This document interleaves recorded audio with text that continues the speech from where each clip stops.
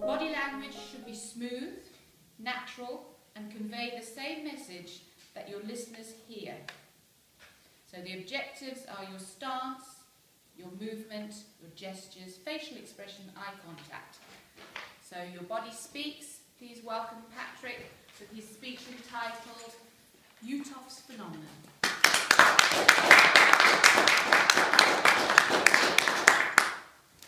Welcome to Toastmasters. First thing I'm going to say is the, the, the dis- discombobulation. It's one of the words that I always dreaded having to say. Like I had a girlfriend called Melanie, and her mother always answered the phone. And the more I did it, the worse it got. Anyway, now that we got discombobulation out of the way, Lutos phenomenon. Excuse me. It's something that happens when your body gets warm. Um, I suffer from multiple sclerosis myself. So looking after your body, looking after yourself is actually quite important. And it's something I've become very aware of because if you don't, you suffer. It's like burning the candle at both ends. If you do that, I suffer. I like to lose a day, effectively. It disappears. So, what is the Uhthoff's phenomenon? Well, it's something you get if you've had multiple sclerosis. Multiple sclerosis is all about conduction of messages down the nerves. That's a basic, basic fact. And when you have multiple sclerosis, the messages don't get passed down the nerves because the insulation on the nerve gets scarred. And this bloke, Uhthoff, Wilhelm Uhthoff, who was a German and um, lived in the last century, produced this, what's called idea, now became known as Uhthoff's phenomenon, about conduction of messages through the nerves. If the body gets warmed up, the message is not passed down the nerves and doesn't get there. And he produced, identified this by putting a person into a hot bath. If you go to a hot bath, your core temperature rises.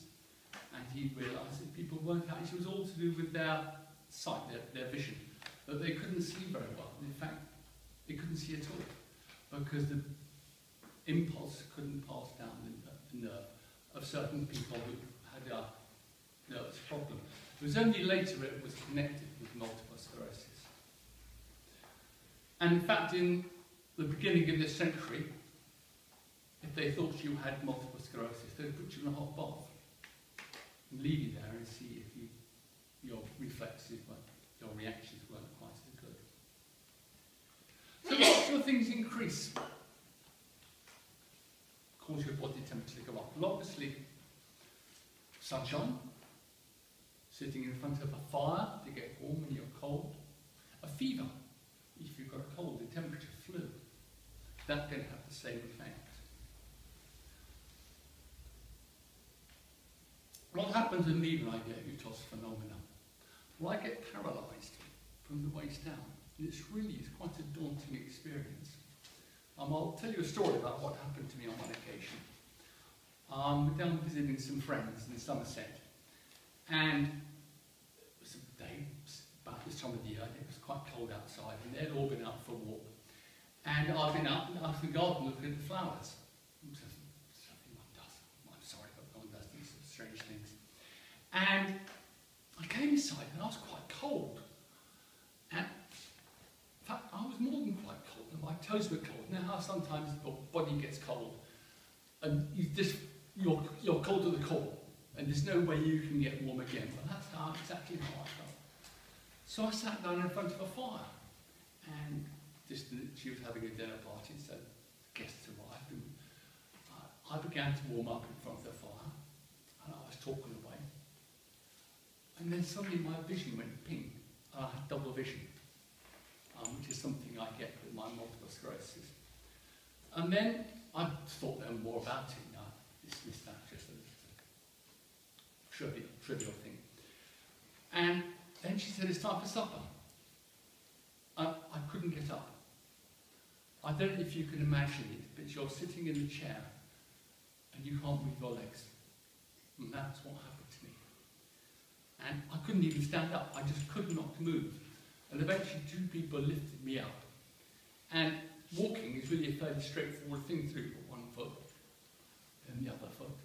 It's a, it's a reasonably straightforward exercise. But I couldn't even move my feet.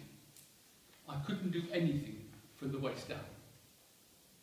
And um, these two blokes actually had to haul me upstairs and put me on the bed.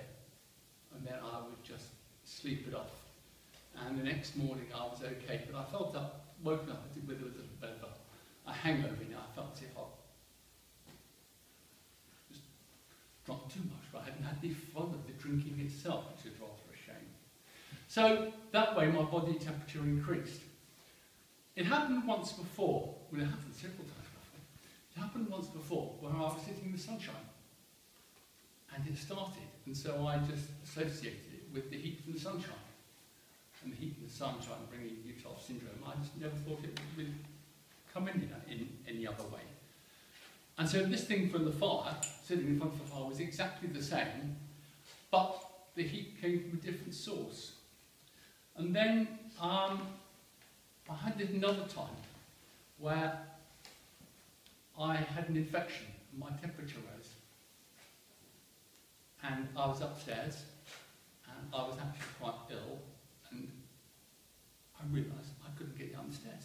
Because my temperature had risen, this Uhthoff's phenomena has struck in and we actually had to ring up an ambulance to get me to hospital because my wife couldn't get me down, she couldn't carry me down the stairs to put me in an ambulance, sorry, to put me in the car to take me to the hospital.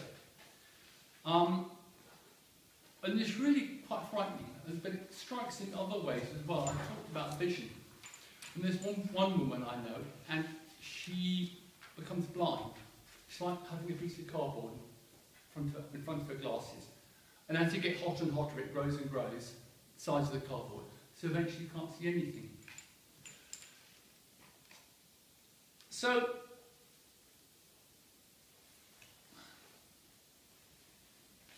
it's, it's one of the side effects of multiple sclerosis, this. And it's something that I don't like.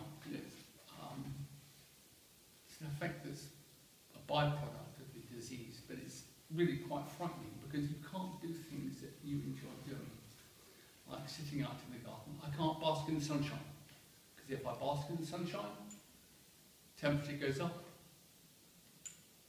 I can't sit in the garden in the and enjoy a beer and have a chat with friends. And that, to my mind, is really sad, because I quite enjoy doing. And I don't know what's going to happen. You know, it just it started about 18 months ago, and it's got on. gone on from there. So I will leave with that rather sobering thought of what happens to me. and you now know a little bit more about multiple sclerosis, the Newtos phenomenon. Thank you very much indeed.